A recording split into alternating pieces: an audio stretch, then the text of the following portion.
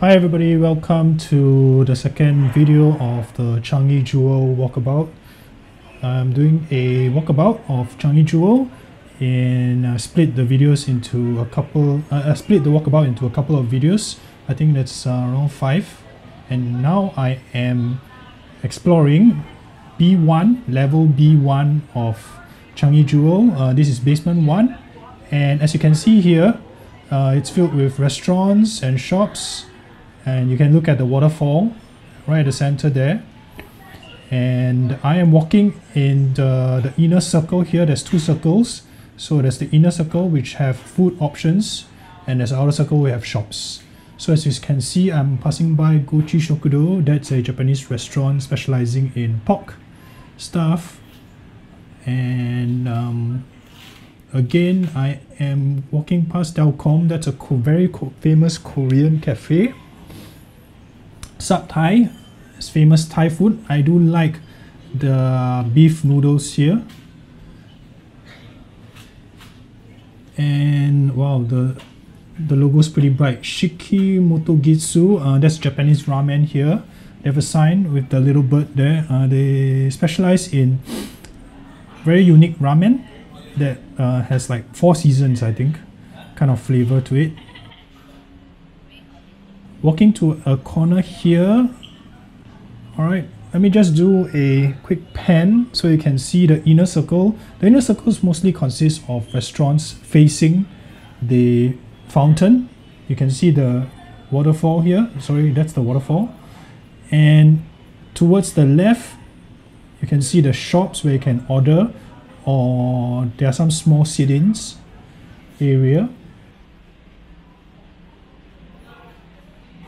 So you can order over here and you can walk across and sit at the sitting areas and view the waterfall while you while you dine. A pretty interesting concept here, this inner circle of um, basement 1 of Changi Jewel.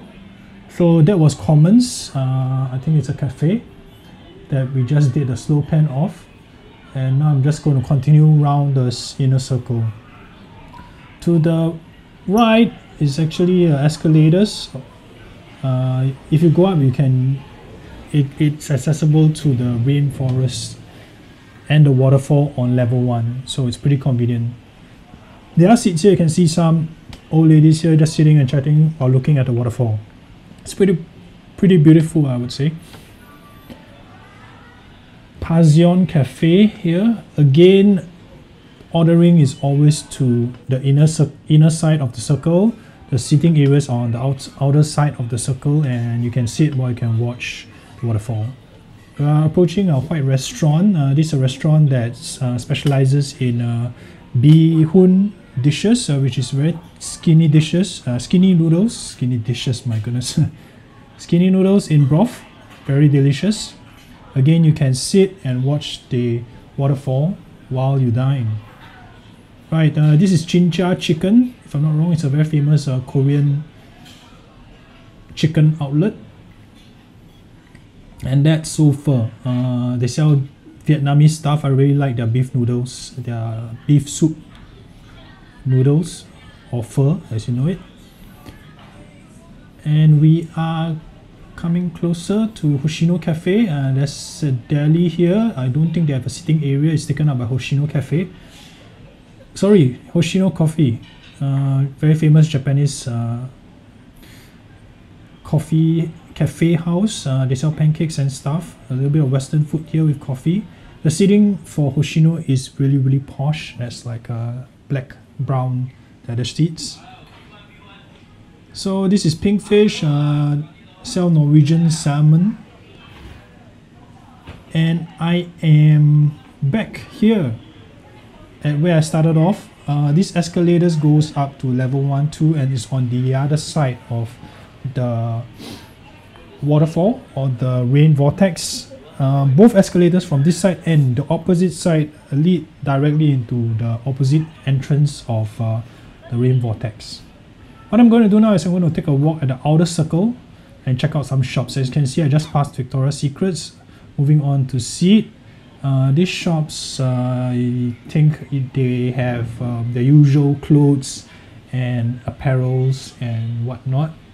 So I'm just going to take a walk at the outer circle. It's uh, pure shopping here. And uh, let's check out some of the shops here. Aptimos. I think it's glasses and some gifts. Very small trinkets kind of shop here. Uh, we are passing by the smell lab and that's aromatherapy stuff I think. There's mango to my right and there's the orchard skin to my left. Area is pretty spacious here. Um, throughout Jewel there are a couple of let's make hero. I think it's a kind of like a makeup shop. Correct me if I'm wrong I might be wrong. I'm just uh, looking and just uh, commenting on things as I pass by like I mentioned earlier, there's a couple of very, very gigantic big shops uh, that are scattered throughout Jewel. It's a redemption counter there. That's Ruby. And uh, one of the big shops that uh, are littered in this in this level is actually Uniqlo. I'm spinning around. Take a look at it. Gigantic Uniqlo outlet here.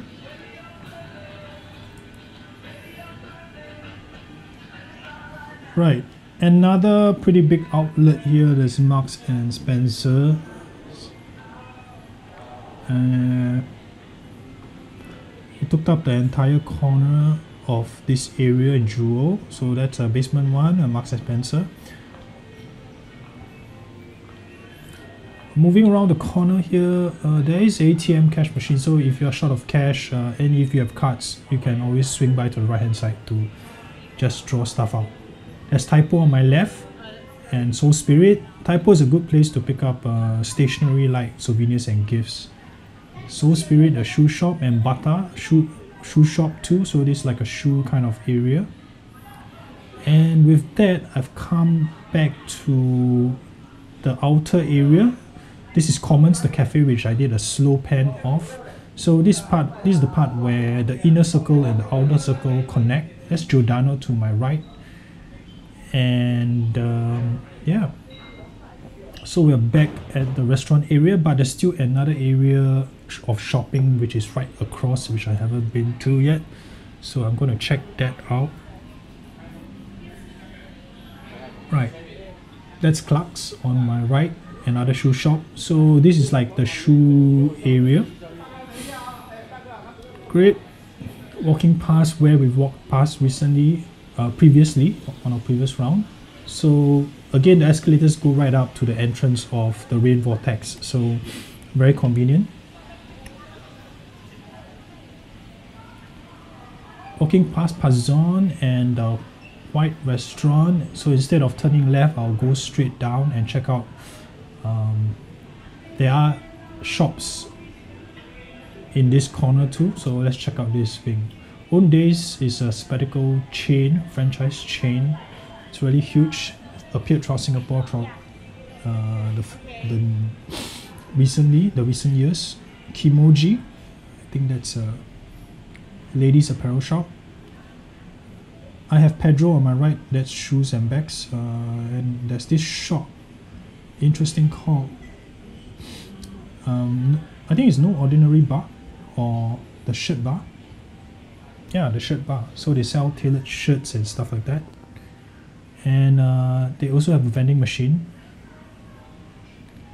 Very interesting uh, vending machine here. It's 24 7 obviously so you can buy stuff. And they do sell things like ties uh, wallets and stuff in this vending machine. Pretty interesting concept. I can't really see the ties and stuff but uh, because of the reflection